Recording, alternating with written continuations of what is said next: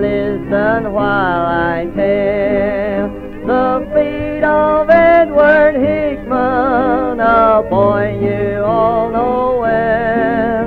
He kidnapped Marion Parker in a California town. He thought he'd gain a ransom, but the law soon brought him down. He took her to the movie and he gave her candy too. He made her every promise that he'd be kind and true. I only need the money that your rich dad can give. And if he'll pay the ransom, his little girl shall live.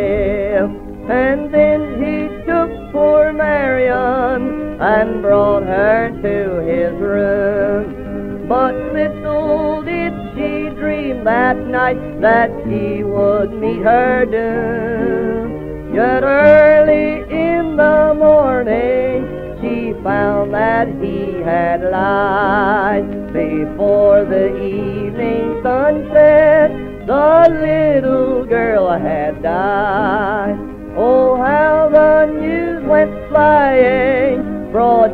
By radio. Throughout the entire country, it stirred the people's soul. And then way up in Oregon, in a far-off western town, the fox that last was captured, and the law had run him down. The case was brought to trial, and the judge then took his plea. The story of that murder is too awful to repeat.